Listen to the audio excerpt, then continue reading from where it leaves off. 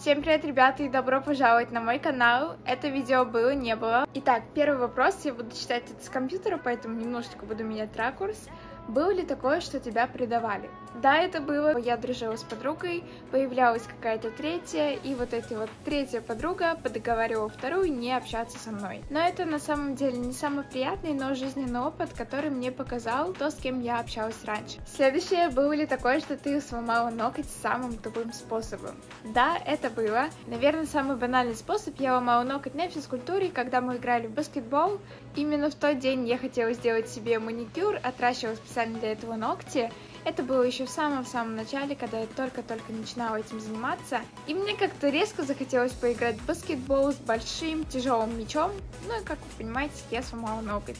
Следующий вопрос, были ли у меня диеты? Нет, у меня не было диет, но в таком возрасте, примерно 12-13 лет, у меня были такие мысли. Просто я где-то это слышала, и мне тоже хотелось за кем-то повторить. Но сейчас, в 15 лет, я осознала, что это были просто какие-то детские мысли. Но тогда, тем не менее, я не садилась ни на какие диеты. Было ли такое, что ты хотела бросить снимать на YouTube? Честно говоря, вот так вот бросить YouTube я никогда не задумывалась об этом, потому что мне это нравится, и раз я выбрала этот путь, то наверняка я буду им заниматься еще очень долго. Бывают такие ситуации, когда хочется взять небольшой перерыв, и поэтому ролики порой выходят редко. Было ли такое, что у тебя терялись посылки?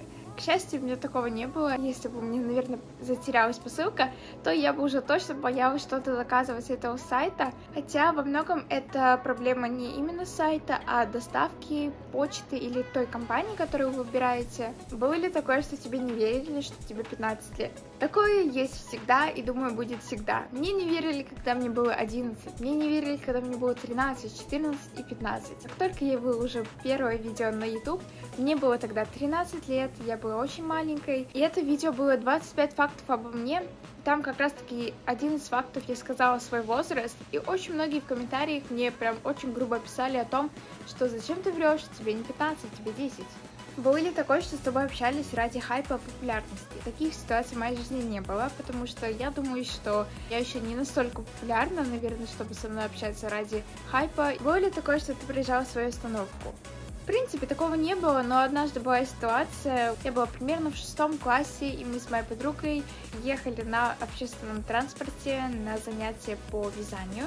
И мы очень сильно разговорились, не смотрели в окно, забыли вообще, что нам ехать буквально три остановки. И когда автобус приехал на нужную нам остановку, мы этого не заметили. Двери открылись, и когда уже автобус собирался уезжать, мы опомнились, моя подруга успела выйти, а передо мной просто закрылись двери, и я смотрю через окно окно на нее. Но, к счастью, кондуктор быстро среагировал, и я все-таки вышла на нужной остановке. Ну а на этом было все. Я хотела с вами поболтать. Очень надеюсь, что оно вам понравилось. Ну а с вами была ваша Антоняшка. Не забывайте подписываться на мой YouTube канал, на канал в Яндекс Дзене. И всем пока-пока.